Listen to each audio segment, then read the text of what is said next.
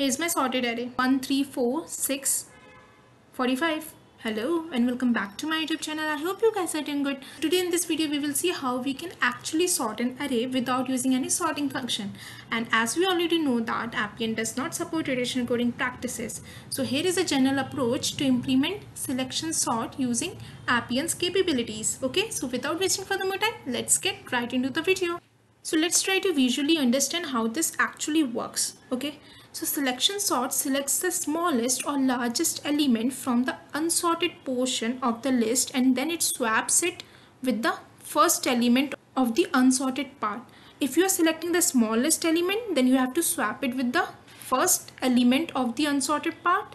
But if you are selecting the largest element then you have to swap it with the last element of the unsorted part okay and this process is repeated for the remaining unsorted portion until the entire list is sorted. Cool? So first things first we have to select the range of the unsorted array. Okay that would indicate the ending index of the range which will run backward from 1 to the ending index. So basically the range will be the whole array starting from the first index. Okay? So here is the array or the list of numbers you can say which is completely an unsorted array as of now and out of which we have to find the max element. So in the first iteration this is going to be my array and the 45 is something which is the max of all. Okay? So we will be replacing this with the last element which is sitting at last index. That is 2 and the value of ending index is 4 which is going to be the count of the whole array okay. So now comes the second iteration in which the list is updated and the numbers have been swapped. 45 has taken the last position which is in its correct position. Okay. And 2 has taken the position of 45 and the value of ending index has been decremented by 1 which was 4 in the last iteration and has now become 3 okay. So this portion is sorted but this portion still remains unsorted okay in the second iteration. As i said before we will have to find the max element within the given range. The updated range is now 1 to 3 right? It's running backward. From 1 to the ending index. 1 is nothing but the starting index and 3 is nothing but the ending index. So we have to find the max element within this range which is 8 we will be swapping 8 with the element which is sitting at the last second index. That is 3 because this is this portion is sorted we are not going to touch it again. Okay? So now in the third iteration here is my updated list where these two numbers have been swapped okay with each other. 8 has taken the position of the last second element and 3 has taken the position of the max element okay? So this part is now sorted but this still remains unsorted the value of ending index has been updated to now 2 as this is a third iteration we have decremented the value by 1 again and the range has been updated from 1 to 3 to 1 to 2 so now we have to find the max element within this range within this 1 to 2 so within this range the max is 3 3 will be taking the position of the element which is sitting at the ending index. The value of ending index is 2 we'll be swapping these two numbers right? 3 and 2 now moving on to the last iteration, the array has been updated and the numbers have been swapped. 3 has taken the position of the element which is sitting at the ending index that is 2 and 2 has taken the position of the max element. Okay. Now the value of ending index has been updated to 1 as this is the last iteration and we have to decrement it by 1 and when the value of ending index is equal to the start index that means there is nothing more left that needs sorting as the value of ending index has become 1. That means the elements are already in their correct positions now. Okay, this array is sorted and it's time to terminate the call. Alright. Now let's dive into the implementation part. I have already created an expression rule to find the maximum element in the unsorted portion and swap it with the element at end index okay at last index you can say. So for that we need to define some parameters okay like the list to be sorted which has to be number integer that is as it is going to hold a list of numbers and array. And the second one for the ending index for the current recursion okay which I'm going to name it as ending index. And after each iteration we will be decreasing it okay number integer. Next I have to get the element which is sitting at the last index. That means ending index. So we'll be initializing some local variables for that. Local last element. Okay ri list. And with the help of this ending index I will get the element which is sitting at the last index. Okay ri ending index now in order to find the max element I will initialize another local variable and here with the help of enumerate function I will get a range in which the max element has to be found. So here the range is going to be from the starting index that is 1 to the ending index. Okay, so enumerate of Ri ending index.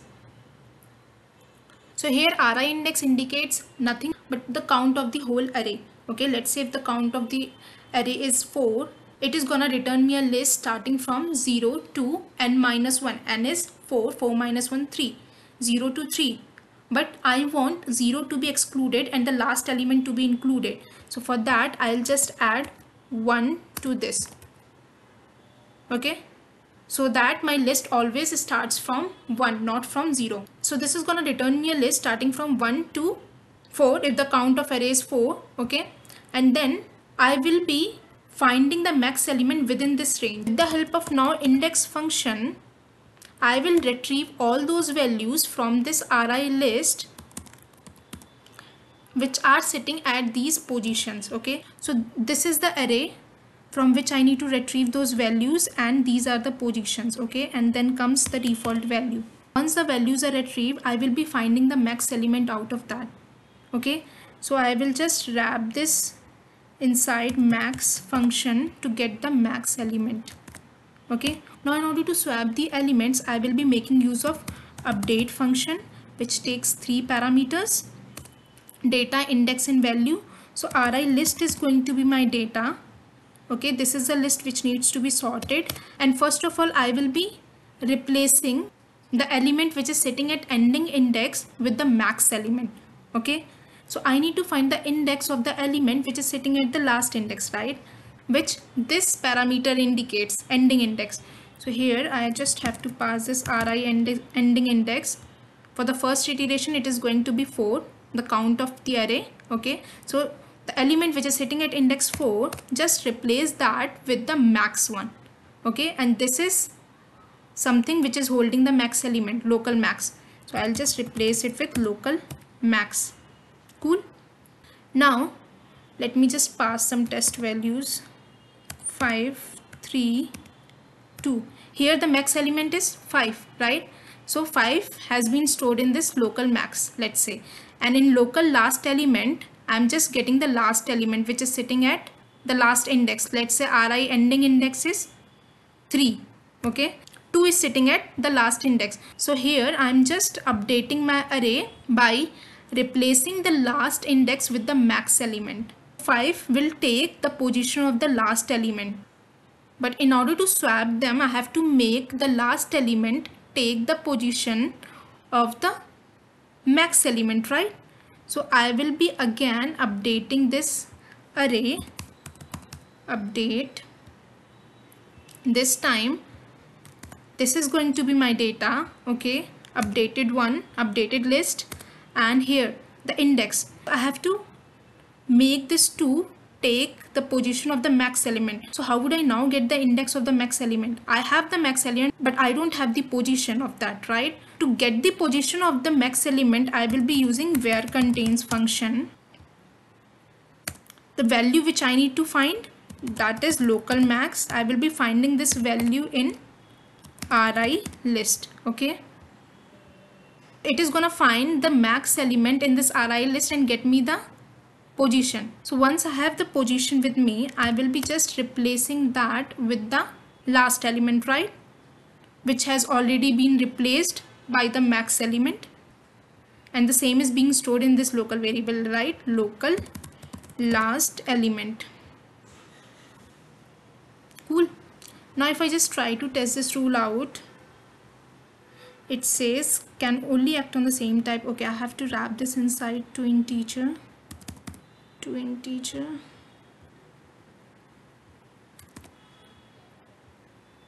test rule.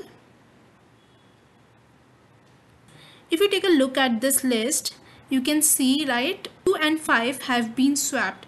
As fifth is the max element and we have swapped this with the last one. Okay so this is working. I will quickly save my changes. Changes have already been saved. Now I will be creating another expression rule which will iterate over the elements of the list and update the range okay? Selection sort which is going to act more like an outer loop.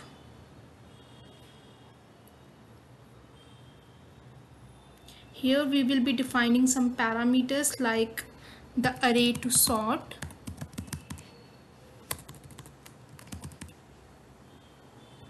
which is going to be a list of numbers and array. And the second one is gonna be for defining the range okay? Ending index. This is going to be number integer 2 now I need to set the initial value for this ending index right? Local ending index which is going to be the count of the whole array right? So count of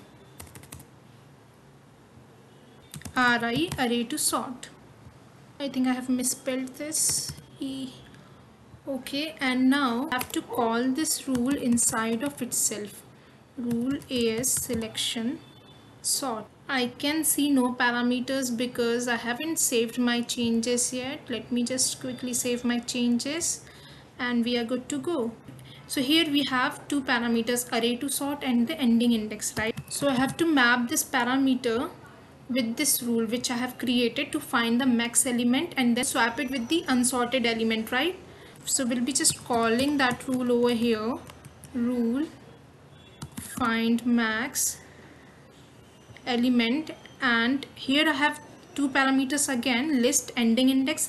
I have to pass the list which needs to be sorted which is nothing but this ri array to sort and then the ending index which needs to be mapped to this local ending index okay? So this part is done. Then comes the second parameter which is ending index which needs to be decremented after each iteration right? Local ending index minus 1 now we also have to define the base condition to terminate this loop. If local ending index is equal to the start index that is 1 right? Just return me the list which is already sorted now okay? Array to sort. Else call this rule until the list is sorted. I'll just format the code now and we'll pass some test values over here. 6 3 4 1 okay I'll just test my rule. It's erroring out because I haven't saved my changes yet. Let me quickly do that and test this rule again. I knew that it would error out because the initial value which we have set for ending index is nothing but the count of array, right? Count of the list, which will always remain unchanged unless we either increase or decrease the size of this array, right? So this remains unchanged because of which it is erroring out. So here the count of array should be the default value for local ending index. Okay so when ri ending index is null or empty, ri ending index is null or empty, count of my array should be the default value for this local ending index. Okay. So in the first iteration, it's definitely to be null or empty. So 4 will be the default value for this and then for the rest of the iteration, it is to be decremented. Now let me quickly save my changes and try to test this rule out again. There you go. 1346. It seems to be working. And if I just add one more element to this list let's say 45 over here as my second element. And test this rule out again. Okay there is an extra comma. There you go 1 3 4 6 45 here's my sorted array. That's how selection sort works in appian that is pretty much for the day. If you want more such videos please like my video share it as much as you can and yes don't forget to subscribe to my channel. I'll see you guys in my next video. Cheers. Bye bye